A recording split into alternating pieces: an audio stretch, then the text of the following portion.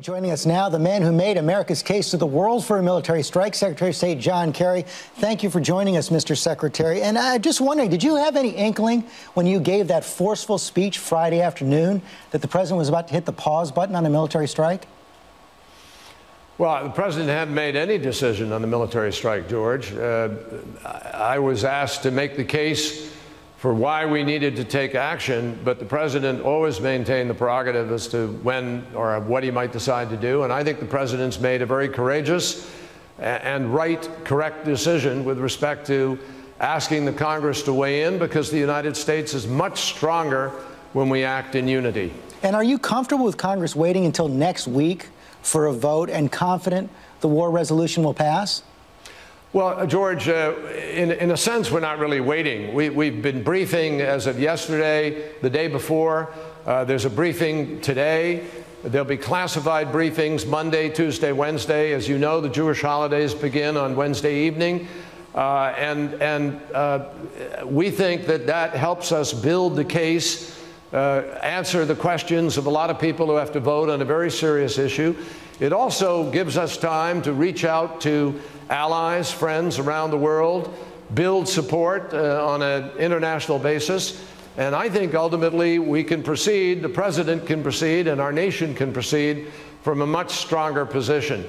Uh, I think we never lose, ever, in America when the Congress of the United States has a chance to weigh in and join the president in this kind of an endeavor. But you would lose if you lost the vote, wouldn't you? I don't contemplate that, George. I think the stakes uh, are just uh, really too high here. I mean, let me just tell you what is happening each day as we go by. I can tell you today, Sunday, that we now have evidence from hair and blood samples from, uh, from first responders in East Damascus, uh, the people who came to help. We have, uh, we have uh, signatures of sarin in their hair and blood samples. So the case is growing stronger by the day. And I believe that uh, as we go forward here in the next days, the Congress will recognize that we cannot allow Assad to be able to gas people with impunity. If the United States is unwilling to lead a coalition of uh, people who are prepared to stand up for the international norm with respect to chemical weapons that's been in place since 1925, if we are unwilling to do that, we will be granting a blanket license to Assad to continue to gas, and we will send a terrible message to the North Koreans, Iranians, and others who might be trying to read how serious is America about enforcing its nonproliferation uh, counter nuclear weapons initiatives. Uh this goes to the core of American credibility in foreign policy, and I believe the Congress of the United States will understand that and do the right thing. I know you don't contemplate a loss, but what if the votes aren't there? Will the president act anyway?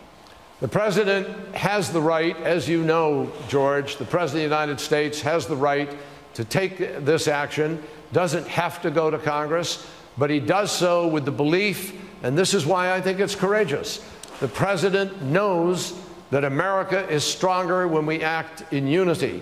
And I think if each Congress, uh, member of Congress looks at this case carefully, as they will, and makes judgments about what has happened, and then measured it against the stakes for our ally Israel, against our interests with respect to Iran, our interests with respect to Hezbollah, with respect to North Korea, non-proliferation, enforcement of a almost 100-year-old prohibition on the use of uh, chemical weapons, as America weighs, as the Congress weighs uh, uh, the, the potential damage to America's credibility in the world, I think the members of Congress will choose to do the right thing, and so does the president. But if I hear you correctly, you're saying the president is going to act no matter what. Meanwhile, no, I said the president has the right to act. So will he? And and I, George, we are not going to lose this vote. The president of the United States is committed to securing the unity of purpose that he believes strengthens America. And I believe the Congress will see that that's the responsible thing to do here. They are already declaring victory in Syria this morning, the Assad regime.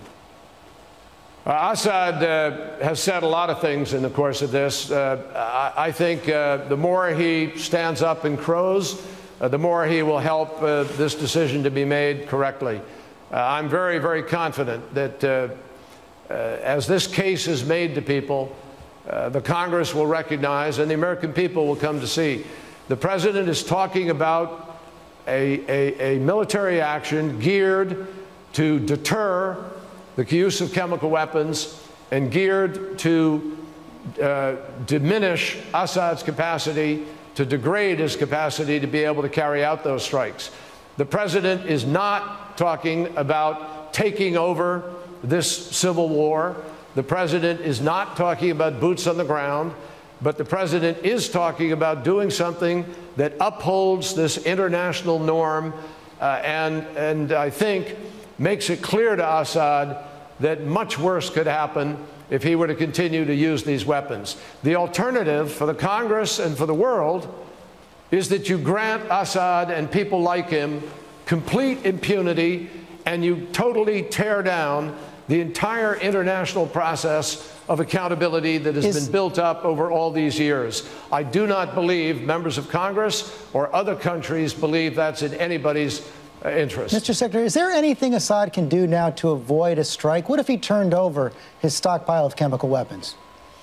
We are obviously looking hard at uh, what we can do to try to diplomatically move in ways uh, that could uh, secure the weapons. Uh, Russia and others may be able to play a role in that. There are a number of different proposals on the table.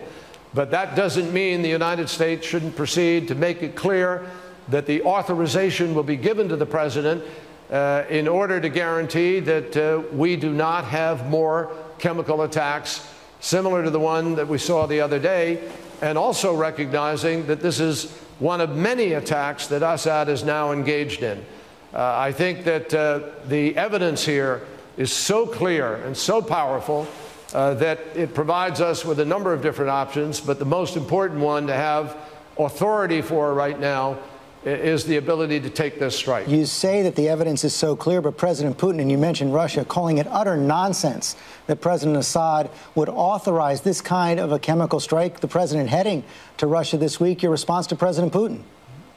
Well, I, I would. In, we've offered the our friend, we've offered the Russians uh, previously uh, to have a briefing on this. In fact, we sent people over to Russia who provided uh, evidence we had with respect to the last ones, and they chose, I literally mean chose, not to uh, believe it or to at least acknowledge publicly. Uh, I think this evidence is going to be overwhelming. If the president of Russia chooses uh, yet again to ignore it, that's his choice.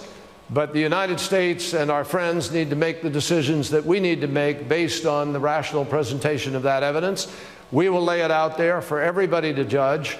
We've actually gone overboard in this case, George, uh, to declassify certain things, uh, to put things out there that normally wouldn't be available in terms of uh, intelligence.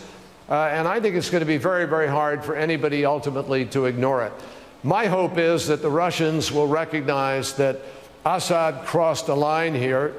Uh, we're working very closely with the Russians on the Geneva uh, negotiation potential, and my hope is they would rededicate themselves to that and perhaps even join us in an effort at the United Nations to hold uh, Assad accountable. Finally, sir, one of the other challenges you're facing in Congress is from those who believe that the president's strategy does not go far enough. Senators McCain and Graham put out a statement yesterday where they say we cannot, in good conscience, support isolated military strikes in Syria that are not part of an overall strategy that can change the momentum on the battlefield, achieve the president's stated goal of Assad's removal from power, and bring an end to this conflict. Why not go that far?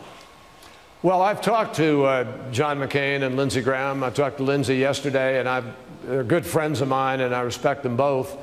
And I am convinced uh, that we can find a common ground here with them and others uh, so that they're convinced that the strategy that is in place will, in fact, help the opposition, uh, that there will be additional pressure, uh, and at the same time, that this is not just an isolated pinprick, uh, but something that can have a profound impact on Assad's ability to use these weapons, which he has been using and will use again if we don't do something about it.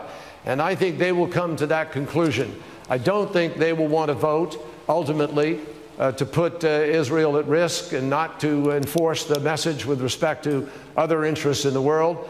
But most importantly, I believe they, they can be and will be satisfied that a strategy is in place in order to uh, help the opposition and to uh, change the dynamics of what is happening in Syria. And finally, sir, what do you say to so many Americans who worry that we're going to get sucked into a wider war?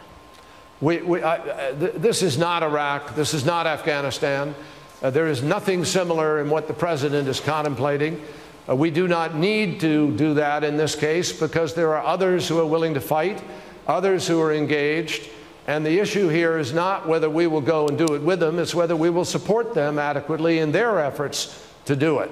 Uh, I think the president has drawn a very, very bright line uh, with respect to that. He has no intention, zero intention of putting boots on the ground. And this military action that he is, he is uh, seeking approval for is directed at the upholding of the international norm on the prohibition of chemical weapons. It is not focused on uh, the larger battlefield uh, and, and uh, interests uh, in the regime.